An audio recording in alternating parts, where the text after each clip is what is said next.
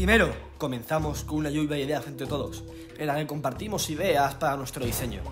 Cuando tuvimos todo claro, comenzamos a diseñar.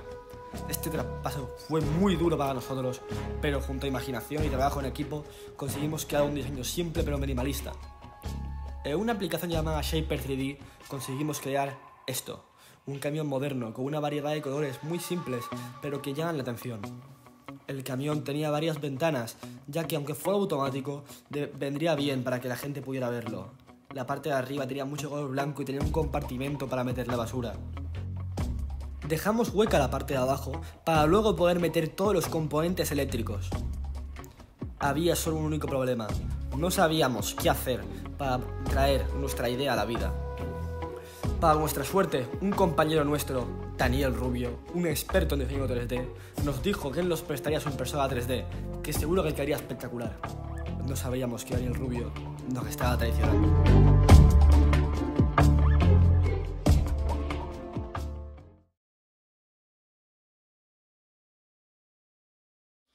Ahora que nuestra idea estaba hecha, estaba todo listo para empezar a programar. Empezamos haciendo un control que decía que si el botón igualaba a 1, o sea, que le pulsaban una vez, se encendían las LED y todos los servos, los cuatro que habían, giraban en sentido horario. Mientras los servos estaban girando, el zumbador debía reproducir tres notas repetidas veces. Pusimos un control de esperar 10.000 milisegundos para que esta acción se repitiera durante este tiempo. Al terminar esta acción, dos servos se pararían junto al LED y los otros dos seguirían para causar un giro.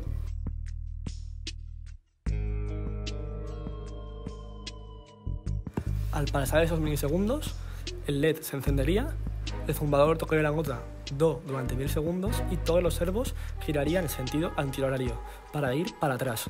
Esta acción duraría otros 10 milisegundos hasta que se apagaría el LED y los servos.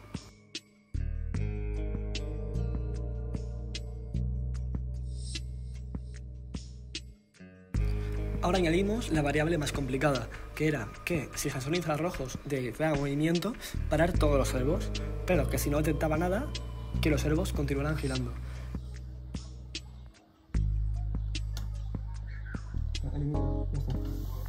Nuestra programación estaba lista, nada podía salir mal, pero lo que no sabíamos es que hacer el diseño final iba a ser más complicado de lo que parecía. Primero, imprimimos el diseño junto a una impresora 3D que nos dio Daniel Rubio. Entre todos y con mucho esfuerzo, vaciamos el diseño de todas las imperfecciones.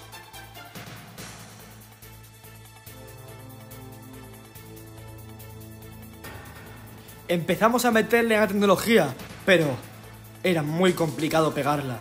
El material de la impresora 3D era extremadamente resistente al celo, con lo cual tuvimos que llenarlo.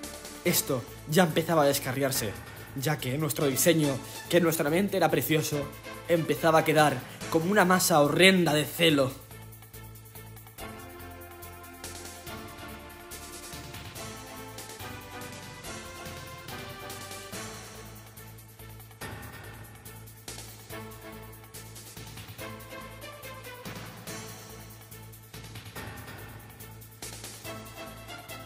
Con todos los cables conectados, era el momento de la verdad. Había que probar el diseño. Pero fue un completo y absoluto desastre.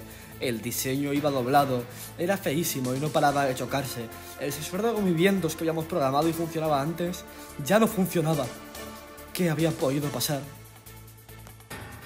Todo fue muy frustrante, ya que cuando lo probábamos sin intentar grabarlo, sí que funcionaba. Pero fue una completa lástima.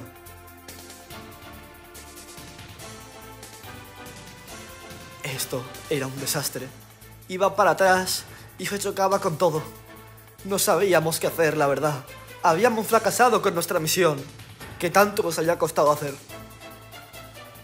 Intentamos volver a probarlo, pero como última esperanza, esta vez con dos ruedas. Pero no funcionó. Avanzaba, pero en el último momento se cayó una rueda. Sin esperanzas, tiramos el diseño a la basura, ya que todo nuestro trabajo había sido en vano, ya habíamos fallado nuestra misión.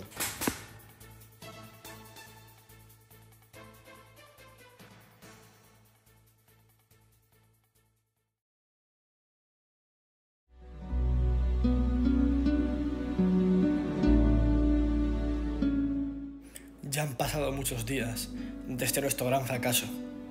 Ahora sabemos que el problema no fue nuestro diseño, no fue la impresora 3D. El tejido del que estaba hecho nuestro camión era completamente antiadherente. Eso solo una persona, Daniel Rubio.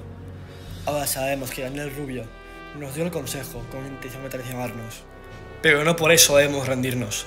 Hoy hemos fracasado, pero mañana lo intentaremos de nuevo. Porque todos hemos dado lo máximo de nosotros en este proyecto. Todos hemos diseñado, programado, hemos sudado sangre para conseguir nuestro objetivo. Es una lástima que no lo hayamos hecho, pero estamos orgullosos de nuestro trabajo. Gracias Adrián, gracias por habernos hecho hacer ese trabajo. Gracias por habernos enseñado que el fracaso es una opción y no pasa nada por fracasar. Lo que importa es levantarse y volver a intentarlo. Adrián, gracias por todos esos momentos en clases en los que nos enseñaste a programar y a diseñar. Adrián, estamos todos muy agradecidos y siempre te recordaremos.